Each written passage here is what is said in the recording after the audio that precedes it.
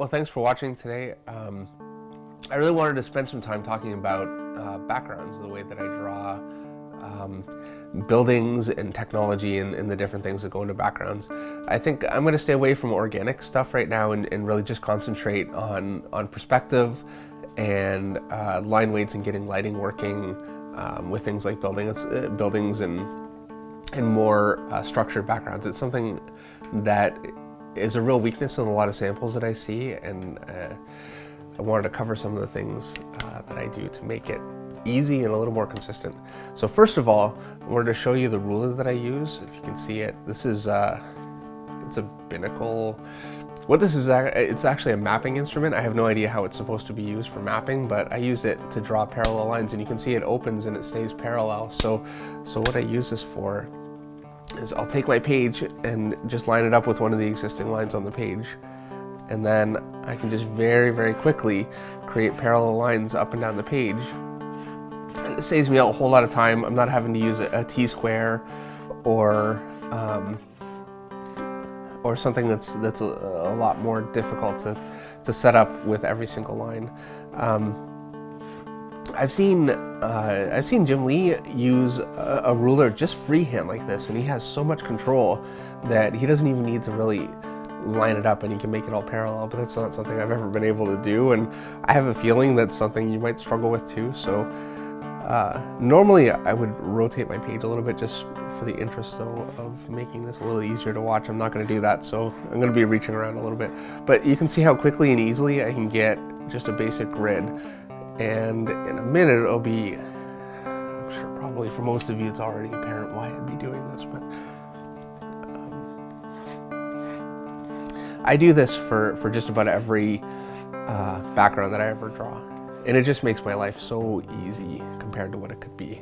Um, and again, having to not turn the page is just making this a little bit tougher, but we'll get through this. And I can also just shift the ruler like this as long as I'm careful. And get the last little lines in here. There we go. And I have a nice, uh, even, I came off a little bit here, but I have a nice even, even grid and I can very easily just draw a background on top of that. I'm going to do a simple one point perspective to start. Uh, one thing I, I, don't really want to cover in, in like great depth right now is one, two, and three point perspective and how they all work and all that kind of thing. Because honestly, that's something I, feel like you can find anywhere. What I really want to concentrate on is how to use those concepts that you can find anywhere and, and really um, refine them for, for drawing comic books. And uh, uh, just find techniques to make it much easier and quicker and more consistent for you to get the look that you want. So from here, I'm just gonna put a point directly the center towards the bottom, use a little X so I know where I'm at, and then I can just take the same ruler that I've got here, and when I do this, I make sure to lift over my X. This is something I learned many years ago, because if I don't lift, I'll end up with a huge star that's almost impossible to erase right in the center of my picture.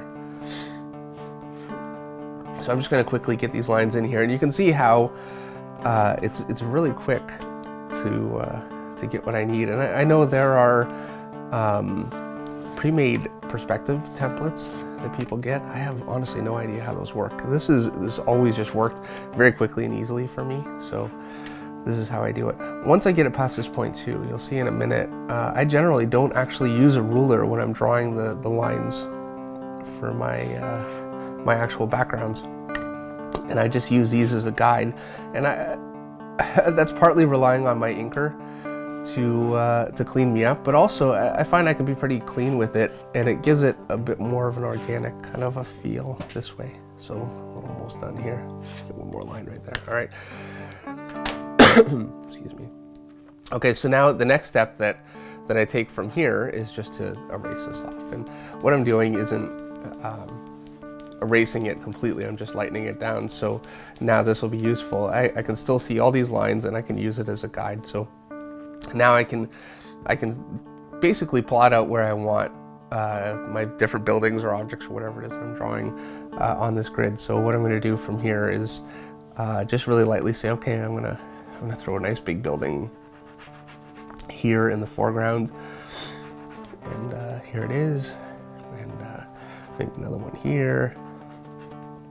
And um,